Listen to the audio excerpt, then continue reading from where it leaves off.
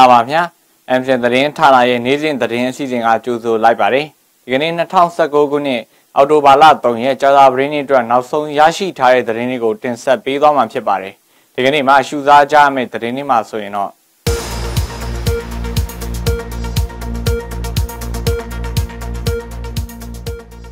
နိုင်ငံတကာနဲ့ရှင်ပြိုင်နိုင်တဲ့ပညာရေးဖြစ်ဖို့ဆရာဆရာမတွေအရေးသွေးပြည့်မီအရေးကြီးတယ်လို့နိုင်ငံတော်သမ္မတပြောကြားလိုက်တဲ့သတင်း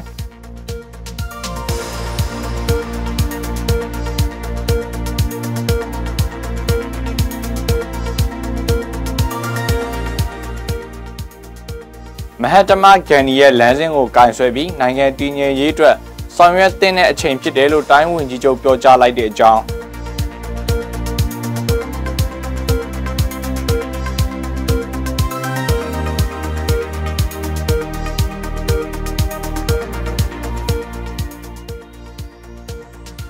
သတင်းကျွနဲ့တစောင်းတိုင်းပွဲတော်ကာလလုံခြုံရေးအလေးထားဆောင်ရွက်မဲ့သတင်း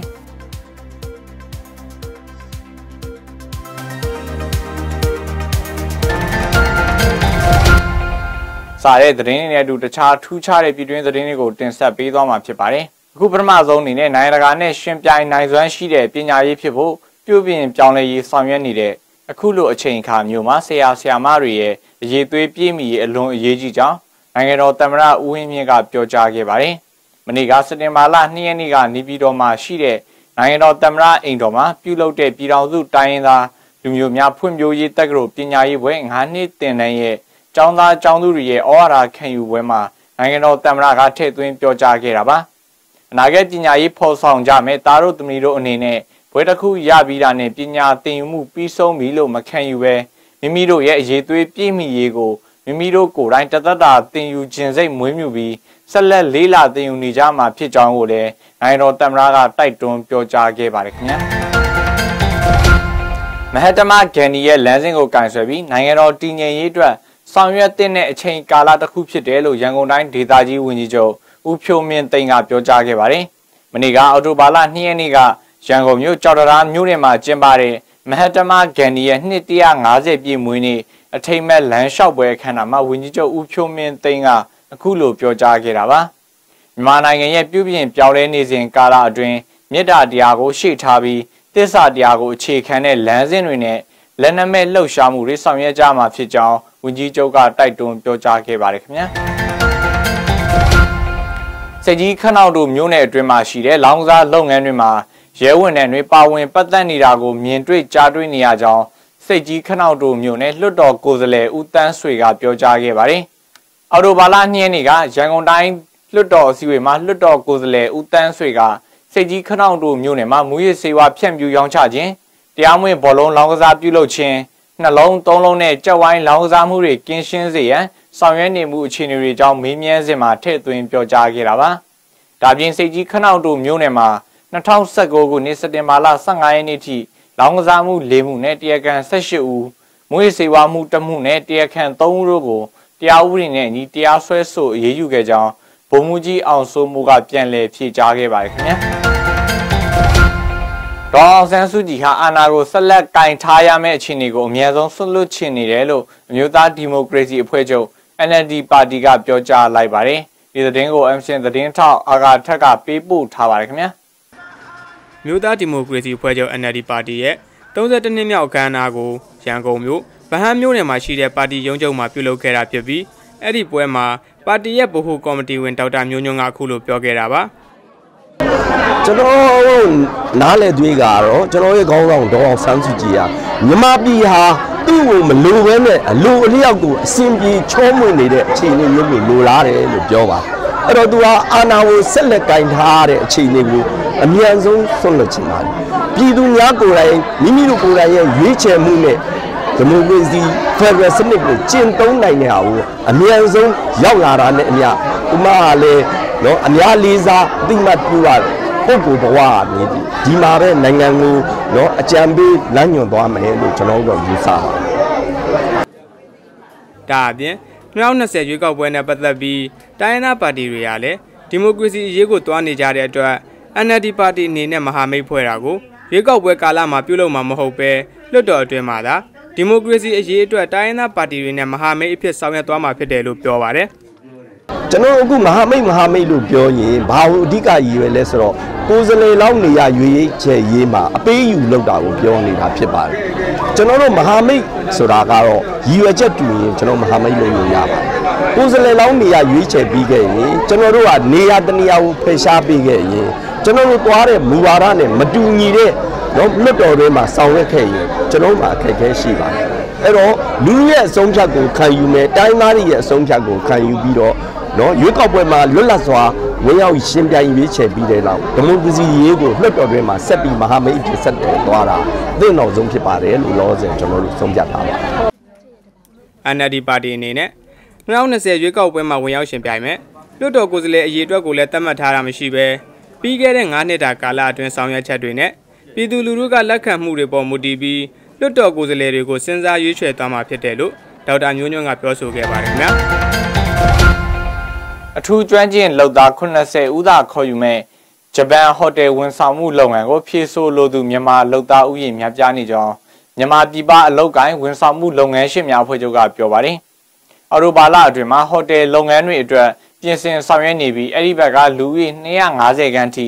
လက်ခံပြီးစစ်ဆေးပေးသွားမှာဖြစ်ပြီး လာရောက်ဖြည့်ဆို့မဲ့သူတွေအနေနဲ့ထောင်ကနန်းနီးပါးရှိတယ်လို့ MOEAF ရဲ့တာဝန်ရှိသူတူကပြောပါတယ်။ဂျပန်နိုင်ငံမှာရှိတဲ့ဟိုတယ်လုပ်ငန်းတွေအတွက်အထူးကျွမ်းကျင်မြန်မာလုပ်သားတွေခေါ်ယူဖို့အခုအောက်တိုဘာလအတွင်းမှာဂျပန်အစိုးရတာဝန်ရှိသူတွေကိုယ်တိုင်ဆောင်မွေးပွဲလာရောက်စစ်ဆေးသွားမှာဖြစ်ပါတယ်။ဂျပန်နိုင်ငံကိုမြန်မာလုပ်သားစေလွှတ်မှုကို2018ခုနှစ်ဧပြီလမှာ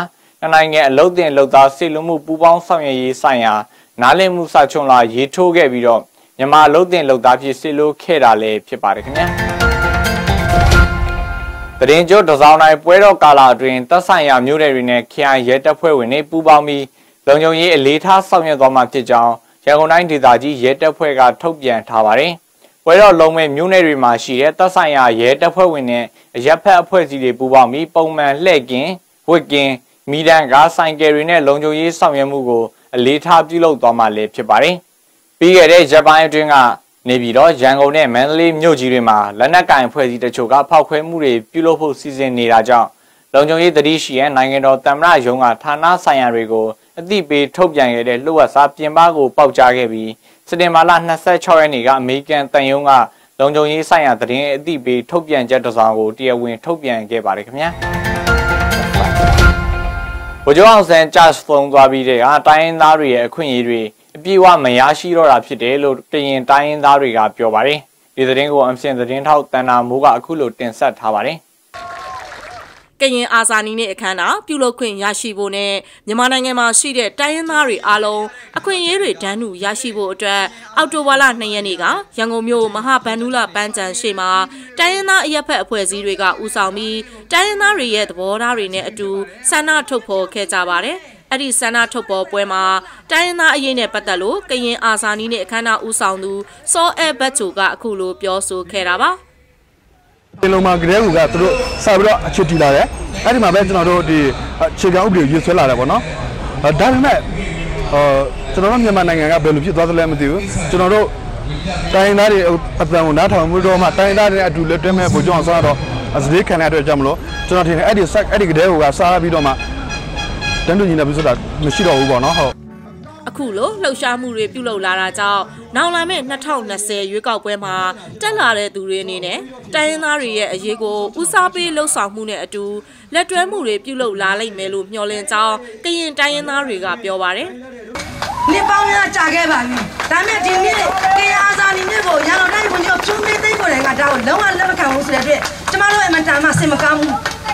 ကြတဲကာလမှာဒီတက်လာတဲ့အစိုးရတက်ကကျမတို့တိုင်းရင်းသားတွေဘာဒီလိုလုပ်တာလဲ။မဲခွန်းတစ်ခုရှိလာပါပြီ။ဘာကြောင့်လဲ။ပြောတော့တိုင်းရင်းသားတွေရဲ့ခွင့်ရေးတို့ပြဝပေးပါမယ်လို့ဘာဆွေးနွေးခဲ့ကြတယ်လဲ။ဘာတွေရွေးကောက်ပွဲဘာတွေပြောခဲ့တယ်လဲ။မေ့ကုန်ကြပြီလား။ဒါကျမတို့မေးရပြီမေးခွန်းဖြစ်လာပြီ။ရန်ကုန်တိုင်းမှာရှိတဲ့ကရင်တွေရန်ကုန်တိုင်းမှာကရင်တွေနေဗမာတမန်တွေဟိုကကရင်ရှိတဲ့ရှမ်းရှိတဲ့အာကျမတို့အခုဆိုမွန်နေရခိုင်နေချင်းနေကချင်နေအများကြီးရှိပါတယ်ရန်ကုန်တိုင်းမှာ အဲကြောင့်ကျမတို့တိုင်းပြည်မှာရှိတဲ့တိုင်းသားအားလုံးရဲ့ခွင့်ရေးတွေကိုဥပဒေပေးထားပါရေးနဲ့ချိုးဖောက်တာကရန်ကုန်တိုင်းအစိုးရအဖွဲ့ပဲကျမပြောချင်ပါတယ်တိုင်းသားရဲ့ပြီးခဲ့တဲ့ဩဂုတ်လ12ရက်နေ့ကရန်ကုန်မြို့မဟာဗန္ဓုလပန်းချံရှိမှာကြိုတင်အကြောင်းမကြားပဲ69ကြိမ်မြောက်ကရင်အာဇာနည်နေ့ကျင်းပတာနဲ့ပတ်သက်ပြီးနော်ဦးလာနဲ့ကရင်လူငယ်နှစ်ဦးကိုငိမ့်ညမ်းစွာစုဝေးခြင်းနဲ့ငိမ့်ညမ်းစွာစီတန်းလှည့်လည်ခြင်းဆိုင်ရာဥပဒေငိမ့်စုစီပုံမှန်နဲ့အမှုပွင့်အရေးယူခံခဲ့ရတာလည်းဖြစ်ပါတယ်ရှင် ကလေးအလုတ်သမားပပျောက်ရေးအတွက်အကောင့်ထဲပေါ်ဆောင်ရွက်ရမှာရန်ကုန်တိုင်းဒေသကြီးပဲခူးတိုင်းဒေသကြီးအေရဝတီတိုင်းဒေသကြီးအပါအဝင်ကရင်ပြည်နယ်နဲ့မွန်ပြည်နယ်တို့မှာဦးစားပေးစီမံကိန်းနယ်မြေတွေဖြစ်သတ်မှတ်ပြီးဆောင်ရွက်နေတယ်လို့ဥပဒေရေးရာလုပ်ငန်းကော်မတီဥက္ကဋ္ဌဒုတိယရှင်းနေချုပ်ဦးဝင်းမြင့်ကပြောကြားခဲ့ပါတယ်။မြန်မာနိုင်ငံကလေးလုတ်သမားပပျောက်ရေးဆိုင်ရာဥပဒေရေးရာလုပ်ငန်းကော်မတီရဲ့တတိယအကြိမ်အစည်းအဝေးမှာပြည်တော်စုရှင်းနေချုပ်ရုံးအစည်းအဝေးခန်းမှာပြောကြားခဲ့တာပါ။ ဥပဒေရေးရာလုပ်ငန်းကော်မတီရဲ့လုပ်ငန်းစီမံချက်ကိုရေးဆွဲပြီးလုပ်ငန်းစဉ်၁၁ရက်ကိုအကောင့်ထဲပေါ်ဆောင်ရွက်နေကြောင်းနဲ့ကလေးလုတ်သမားနဲ့သက်ဆိုင်တဲ့ဥပဒေတွေရဲ့အားနည်းချက်အားသာချက်တွေကိုသက်ဆိုင်ရာဌာနတွေကလေးလာပြီးဥပဒေရေးရာသုံးသက်ချက်တွေပြုစုနေတာဖြစ်ကြောင်းဒုတိယရှိနေချုပ်ဦးဝင်းမြင့်ကပြောကြားခဲ့တာဖြစ်ပါတယ်ခင်ဗျာတိုင်းသားဘာသာကြီးရှိမျိုးကိုနှစ်နှစ်အတွင်းမှာယူနီကုန်းနဲ့ဘာသာပြန်ပေးနိုင်တဲ့အဆင့်ထိလှုပ်ဆောင်သွားမယ်လို့မြန်မာနိုင်ငံ ကွန်ပျူတာလုပ်ငန်းရှင်များအသင်းကပြောပါတယ်တည်င်းကို MCN သတင်းတော့ထိထိကအခုလိုပဲတင်ဆက်ထားပါတယ်လက်ရှိမှာ Unicode ကိုပြောင်းလဲအသုံးပြုပြီးတဲ့သူတွေအနေနဲ့မြန်မာတိုင်းရင်းသားဘာသာစကားတွေနဲ့ပတ်သက်ပြီးရိုက်ထည့်လို့ရတဲ့အနေအထားမှသာရှိပေမဲ့ဘာသာပြန်လို့ရတဲ့အနေအထားတော့မရှိသေးတာပါအဲ့ဒါနဲ့ပတ်သက်ပြီးမြန်မာနိုင်ငံကွန်ပျူတာလုပ်ငန်းရှင်အသင်းကခုလိုပြောဆိုထားပါတယ်အဲတိုင်းသားဘာသာကြီး၈မျိုးပေါ့နော်ဟိုမြန်မာပါဝင်၈မျိုးမှာဆိုရင်တော့ဒီ အလွန်ဆုံးနှစ်နှစ်လောက်အတွင်းမှာကျွန်တော်ပြီးအောင်ဟိုလုပ်သွားနိုင်ပါတယ်ဖြစ်ဖို့ဟိုပြောလင်းပါတယ်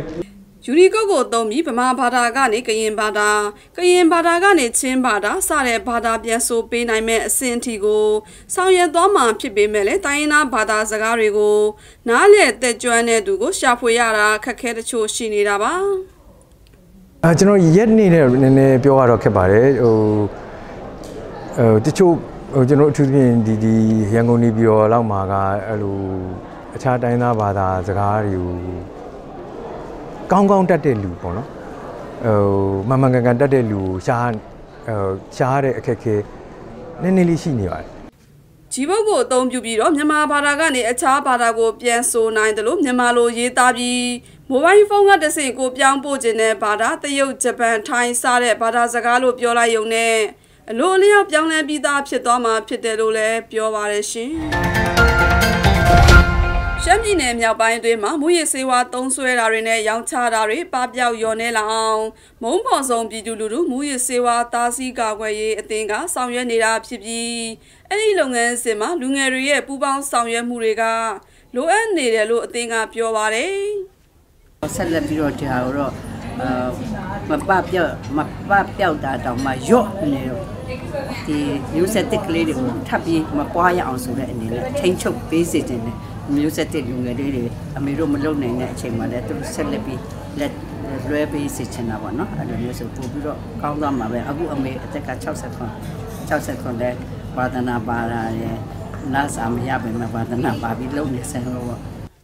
ပေါ့ဝိစေဝါသုံးဆွဲတဲ့သူတွေကိုကနဦးအနေနဲ့ပညာပေးဟောပြောတာတွေပြုလုပ်ပြီးနောက်ပိုင်းမှာထပ်မံသုံးဆွဲတာတွေရှိခဲ့ရင်တတိပေးမှုတွေနဲ့အတူဖမ်းဆီးအရေးယူဆောင်ရွက်နိုင်အောင်မုံပေါ်ဆုံးပြည်သူလူထုဝိစေဝါသားစီကာကွယ်ရေးအသင်းကပြုလုပ်ပေးနေတာပါအမေတို့အဲ့မှာသွားပြီးတော့ပြောတယ်အမြင်ဖွင့်ပြီးဟောပြောတယ်ပြင်အကပဒေတာနဲ့လုပ်တယ်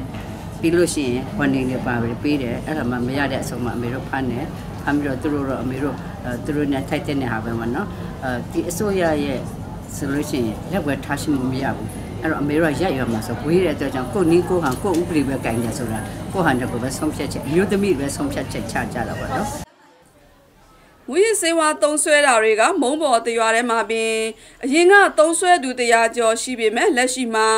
တိတိတာတာရောကြသွားသလိုရွာပေါင်း20ရွာမှာ၄ရွာကတော့ သုံးဆွဲတာတွေနဲ့ရောင်းချတာတွေမရှိတော့ဘူးလို့မုံပေါ်ဆုံးပြည်သူလူထုမူရစ်စေဝါသားစီကာကွယ်ရေးအသင်းကပြောပါတယ်ရှင်။ MCN သတင်းဌာနကနောက်ဆုံးရရှိထားတဲ့ပြည်တွင်းသတင်းတွေကိုစူးစီးတင်ဆက်ပေးခဲ့တာဖြစ်ပါတယ်။။နောက်နေ့တွေမှာလည်းထူးခြားတဲ့သတင်းတွေကိုစူးစီးတင်ဆက်ပေးသွားဦးမှာပါ။ MCN သတင်းဌာနကထုတ်လွှင့်ခဲ့တဲ့နေ့စဉ်ရုပ်သံအစီအစဉ်တွေကို www.mcntv.biz မှာကြည့်ရှုနိုင်ကြမှာဖြစ်သလို Facebook လူမှုကွန်ရက်စာမျက်နှာပေါ်မှာလည်း MCN TV New မြနဲ့ရှာဖွေကြည့်ရှုနိုင်ကြမှာဖြစ်ပါတယ်။အမျိုးသားပိုင်း MCN သတင်းဌာနရဲ့နေ့စဉ်သတင်းအစီအစဉ်ကိုရှုစားခဲ့ကြတဲ့အတွက်အထူးကျေးဇူးတင်ပါတယ်။ကျွန်တော်ကတော့တော်ရာတိုပါ။